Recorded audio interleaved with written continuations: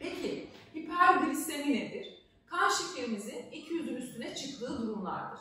Kan şekerimiz 200'ün üstüne çıktığı durumlarda çok su içme, idrara sık çıkma, bulanık görme, yorgunluk halinin olması, cildimizde kuruluk oluşması, e, ağız kuruluğunun oluşması gibi bir sürü şikayetimiz olabilir. Böyle bir durumda bol su içmemiz, diyetimizin dışına çıkmamamız, diyetisyenimizin planladığı beslenme programını bozmamanız, ilaçlarınızı düzenli almanız mutlaka gerekiyor.